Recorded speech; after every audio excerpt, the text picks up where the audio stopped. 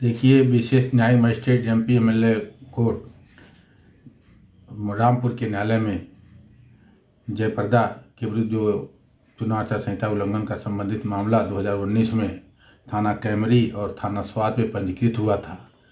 थाना स्वाद पर पंजीकृत मुकदमे का एनसीआर नंबर उनसठ बटे उन्नीस और थाना कैमरी पर पंजीकृत एनसीआर का मुकदमा का संख्या सैंतीस बटे दो हज़ार उन्नीस थी।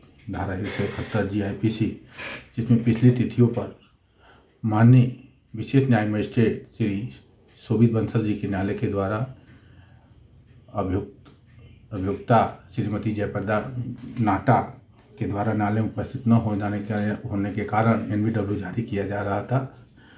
आज तिथि नियत थी आज अभियुक्ता जयप्रदा नाटा माननीय न्यायालय में उपस्थित नहीं आई थी और थाने की जो रिपोर्ट आई थी, उसमें श्री रंजीत द्विवेदी प्रभारी निरीक्षक ने यह रिपोर्ट भेजा था कि अभियुक्ता अपने आप को बचा रही हैं, उनके मोबाइल स्विच ऑफ़ चले आ, चल रहे हैं और बयासी की प्रेयर की गई थी।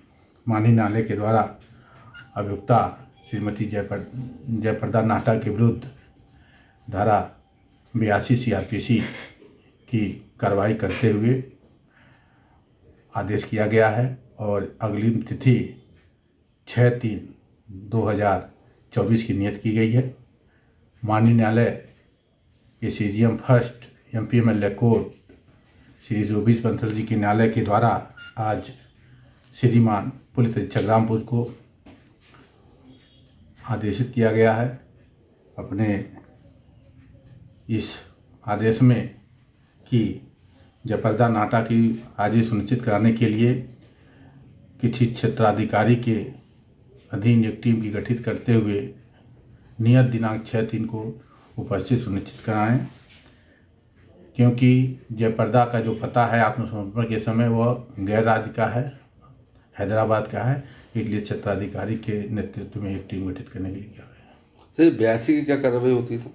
बयासी की कार्रवाई उद्घोषणा की कार्रवाई होती है जब अभियुक्ता उपस्थित या अभियुक्त उपस्थित नहीं होते हैं तो हाजिरी सुनिश्चित कराए जाने के लिए माननीय न्यायालय के द्वारा उस घोषणा की कार्रवाई की जाती है। उसको सीआरपीसी में धारा बयासी की कार्रवाई करते हैं।